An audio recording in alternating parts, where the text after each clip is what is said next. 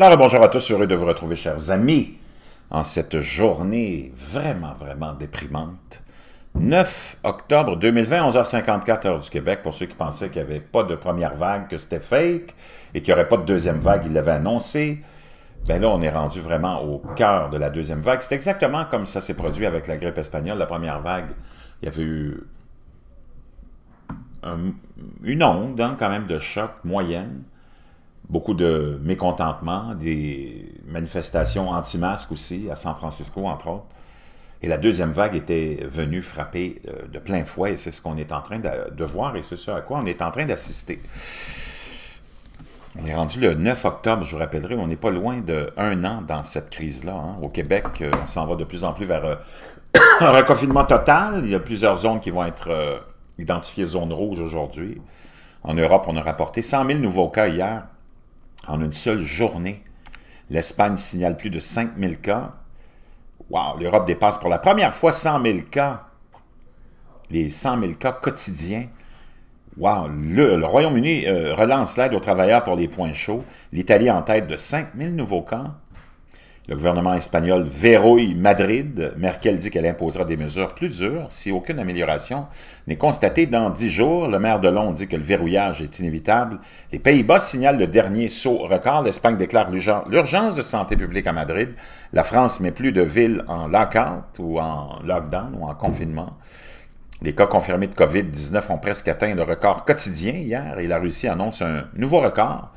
Et euh, vraiment, on n'est pas sorti de L'Auberge, le ministère de la Santé et des Services sociaux, vient d'annoncer qu'il a obtenu un million de doses de médicaments anticorps, papa Régénéron, qui attendent tous deux l'approbation d'utilisation d'urgence dans leurs produits, car Trump promet de rendre le médicament gratuit à tous. Bon, encore de la propagande de cet innocent-là, c'était pas possible, enfin, que voulez-vous?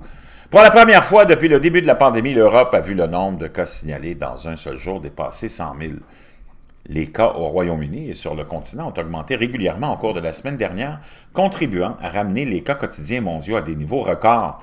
Le foyer de l'épidémie dans la région européenne s'est déplacé vers le Royaume-Uni, la Russie, l'Espagne et la France, qui ont chacun, signalé plus de 10 000 cas au cours des trois derniers jours.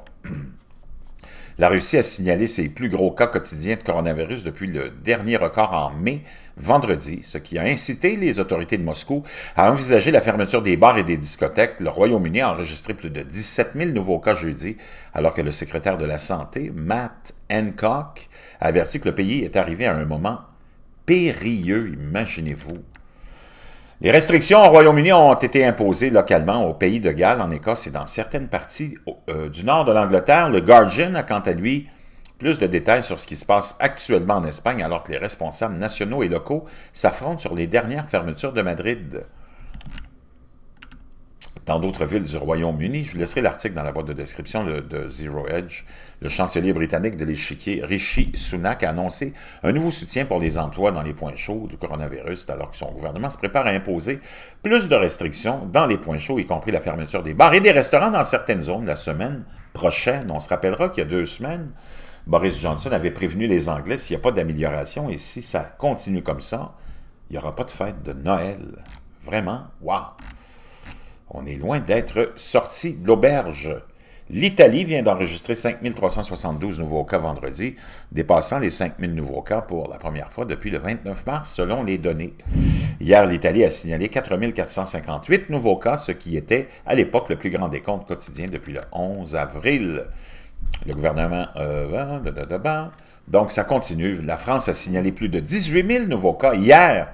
Et maintenant, euh, et maintenant, sa troisième plus grande ville, Lyon, rejoint Paris et Marseille euh, pour la fermeture des bars et d'autres entreprises non essentielles dans les prochains jours, alors que les taux d'infection augmentent dans les points chauds du pays. Et on, ça continue, on nous raconte un peu l'histoire de tout ce qui se passe. Les Pays-Bas, euh, quant à eux, ont signalé 5 983 nouveaux cas supplémentaires, un nouveau record quotidien, tandis que 69 nouveaux patients ont été signalés dans les hôpitaux du pays, ce qui porte le total à 1139, tandis que les décès ont augmenté de 14 et les cas des soins intensifs de 11 à 239. Et même ici, euh, j'ai parlé à certaines euh, personnes proche du système de santé québécois, dans la région de Laval et Montréal, et les cas d'hospitalisation augmentent de beaucoup. Plus tôt ce matin, les cas mondiaux avaient atteint 36 435 290 cas, selon les données de John Hopkins, tandis que le nombre de morts dans le monde était passé à 1 60 869 000. Les nouveaux cas étaient juste en deçà du record établi le 24 septembre avec 359 337 nouveaux cas confirmés hier, ainsi que 6 234 décès. Le tir de la Russie a dépassé son apogée à partir de mai euh, vendredi en enregistrant 12 126 nouvelles infections et 201 décès liés au coronavirus dans les dernières 24 heures. Wow! On est en Iran maintenant, a empêché, le, ministre, euh, le ministère iranien de la Santé a empêché tous les hôpitaux d'admettre des cas non urgents, après que l'armée ait également désigné tous ces hôpitaux pour les patients en tête de coronavirus en réponse à une augmentation des infections. Donc, même en Iran, hein, ça ne va pas euh, vraiment bien. et vraiment, on n'est pas sorti de l'auberge, chers, chers amis.